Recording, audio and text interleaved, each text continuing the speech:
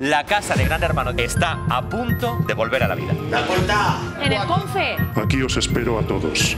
Pasaré lista.